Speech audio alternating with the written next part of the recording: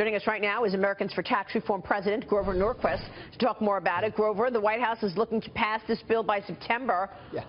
Good morning to you. Yeah. Give us your reaction to Ryan's plan to overhaul the tax system and what you heard yesterday.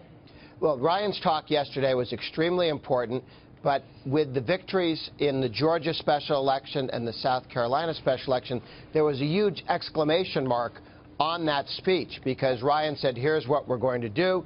And then right behind him was the political strength to help make that easier to do. And the White House, as you point out, came in and not only said, yes, we're going to do it this year, but we're going to do it in September.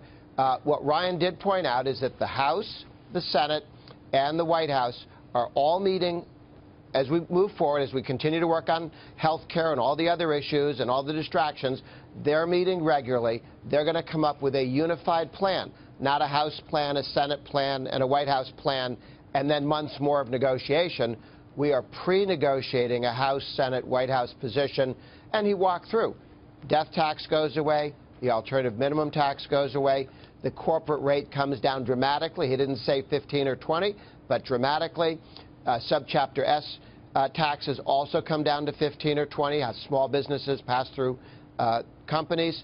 And then he talked about territoriality and making it permanent. I think he really outlined what we've always understood to be the outlines of any agreement, and he made it clear Yeah. that this year and the House, Senate, and the White House, it's not like, here's my plan, Right. I hope everyone likes it.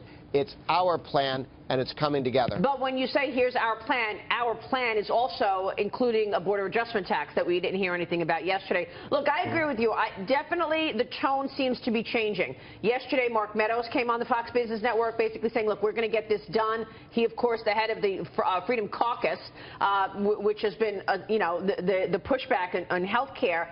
So it seems like there's a lot of coalescing going on right now, and there is a lot of common ground. But what about the opposition to uh, Ryan's plan to the border adjustment tax? Well, if you look, that's the border adjustability of the corporate income tax is one of the areas where retailers and others have been very much opposed. It, it has some uh, supporters in manufacturing, Right. uh, and it could end up as part of the final plan. I think if you deconstruct the House plan and then put it back together again with Senate and White House input, it, it could go either way on border adjustability. It's not, it's not inside the circle of things that are definitely going to be in the plan. What Ryan did say, though, is he needs permanent and territoriality. And the border adjustability made permanent territoriality easier. There may be other ways to do it, um, but he's looking for, and I think the markets are looking for, both a territorial tax system instead of worldwide and permanency. You know, uh, Grover, you know, you talk about how the plan is being negotiated beforehand, uh, the House and Senate working together. We're watching right now as this health care bill, uh, the, the House passed a bill that the Senate immediately deemed unacceptable. It's like Keystone cops out there in health care. Why is, the tax, why is the tax bill going to be different? What are they doing differently here? Sure. Fewer moving parts, and every Republican is largely for every one of the tax cuts that are being discussed. The only question is how many can fit in the box. So it's not like I don't want to cut this tax. It's can I fit this tax cut in to something that fits within uh, the structures that the House and the Senate have in their rules about making it permanent, about making it deficit neutral in year 11 and out or 26 and out. So the other part is the entire business community is united on wanting those rates down dramatically.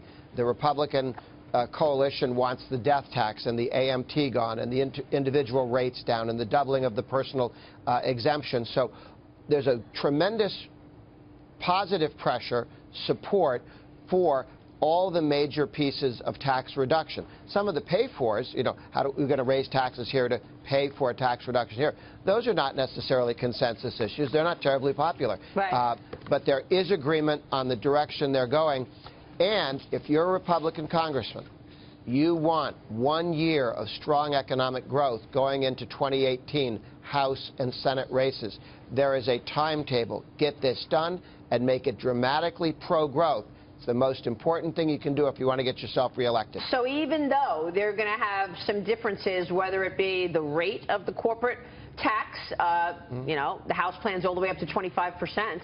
Uh, the Board No, of they Adjustment moved it to 20. All right, They came down to 20. I, I bet you they agree on 22 percent. Uh, even though you've got all these differences, and then the differences on the deductions, what's eliminated or not, you think they're going to coalesce, come together, and get something done in 2017? Real quick, Grover. Yes, absolutely. You not only heard it from Ryan, when you talk to the folks on the Senate side and the White House, they are meeting regularly at the top levels uh, weekly, and they're moving in the right direction. Yeah, Grover, thank you so much. Great to see you, sir. Thank you. Grover Norquist joining us.